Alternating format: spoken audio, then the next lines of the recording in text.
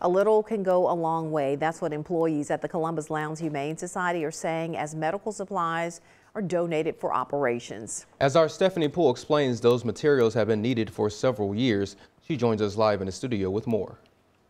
That's right, spay and neuter operations are considered major but common surgeries. Clinics require trained professionals and reliable equipment.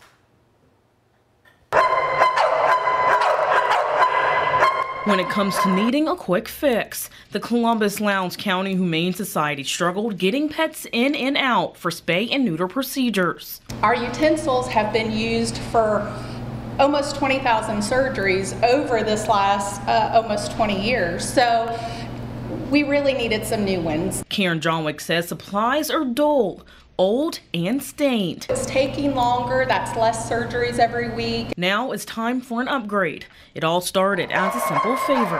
About 20 years ago, the Humane Society approached uh, one of our volunteers uh, at the hospital to see about the possibility of the hospital donating surgical instruments to help with the spay and neuter program.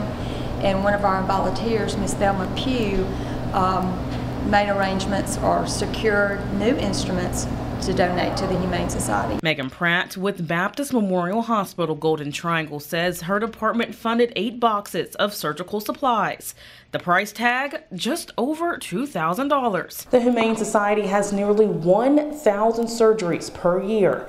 That's almost 30 operations per week. With new equipment, new surgical instruments, um, you know, we're just, we're going to be able to do the surgeries a little quicker and possibly even do some more surgeries. The goal is to keep fewer animals out of the shelter. We need to prevent these unwanted litters so that people aren't accidentally letting their animal have puppies and kittens and then they don't know what to do with them. We are full. We, we are full in our cat room, we're full in our dog room. We recognize that our commitment to the community expands far beyond the walls of our hospital.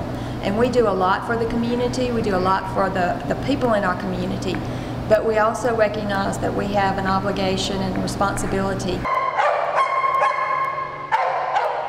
Johnwick tells me old supplies will continue to be used during operations until they're ready for disposal. Now, if you have any items to donate, you can contact the Lowndes, the Columbus Lowndes County Humane Society.